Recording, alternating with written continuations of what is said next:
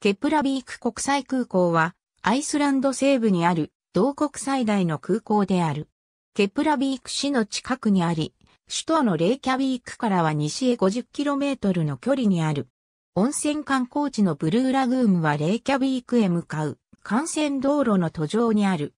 長さ3065メートル、幅60メートルの滑走路1本と、長さ3054メートル、幅60メートルの滑走路1本を持つ。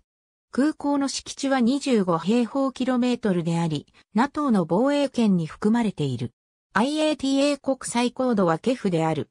この空港ははじめは外国の軍用航空基地として作られた。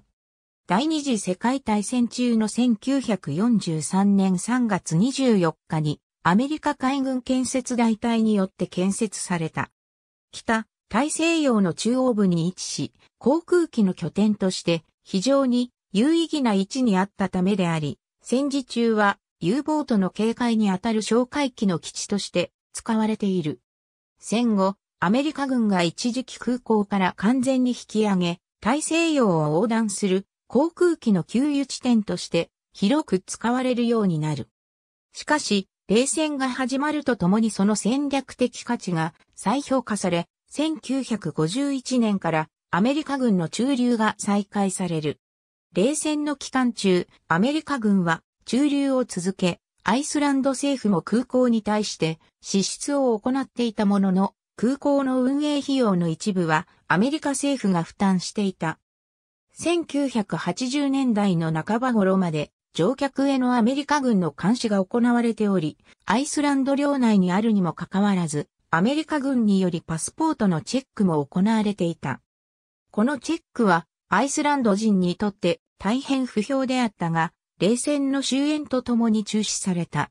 2006年にアメリカ軍が撤退し、空港の管理はアイスランドに移管された。1960年代から1970年代にかけてベトナム戦争への抗議行動などと連携してアメリカ軍と NATO の撤退を求める抗議行動が頻繁に行われた。ケプラビークを出発地点として 50km の道を歩き、アイランド R ナトヘリンバートの掛け声とともに空港周辺で抗議を行った。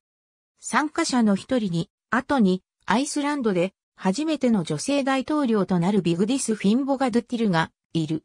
アイスランドの人口は30万人ほどであるが、アメリカやカナダとヨーロッパの各都市との間が定期航空便で結ばれている。ケプラビーク国際空港は国際線のみが発着するようになっており、グリーンランドやフェロー諸島への近距離国際便とほとんどの国内便は 50km ほど離れたレイキャビーク空港を利用している。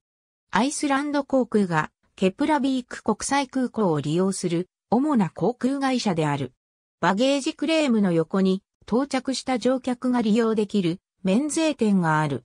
ここでは日本円で支払うことができるが、お釣りはアイスランドクローナで帰ってくる。これを逆手に取り、安い商品を1万円札で購入すれば、1万円弱相当のアイスランドクローナの現金を両替手数料なしで入手することができる。